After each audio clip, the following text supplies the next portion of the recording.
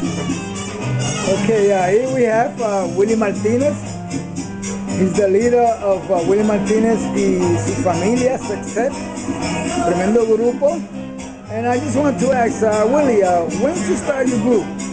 The group uh, started about six years ago, and yeah, around late 2002, and then we uh, performed throughout the city throughout 2003, 2004, and then we recorded our first CD in uh, 2005, and then we've been together since, the, the same original members, and disfrutando y gozando de la música. You know, one thing I like about you is that you took your group that you travel with, you tour with, into the studios. Yeah. That's not, you know, something that uh, a lot of uh, leaders do, you know. Maybe now, but back then they didn't.